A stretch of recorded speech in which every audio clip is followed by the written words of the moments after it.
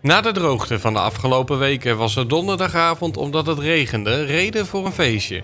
Absoluut. En ik, eh, ik ben blij dat het nu regent, want eh, dit, was de opzet. En eh, ik, gelukkig doen er een hoop mensen aan mee. We staan allemaal met poncho's buiten. En ja, dat was een beetje wel het thema waar we het om deden. Van, we zijn allemaal blij dat het nu regent na die warme dagen. Dat is eigenlijk het, het, het feest.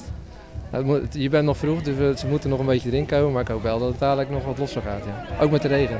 Een regenfeest organiseren komt niet uit de lucht vallen.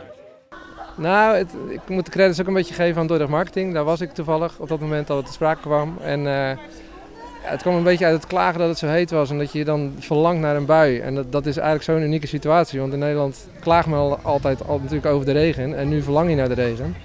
En dat van, ja, eigenlijk moeten we dat vieren. Dat is wel heel erg leuk om te doen.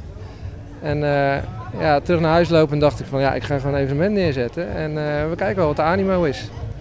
En hoe was die animo?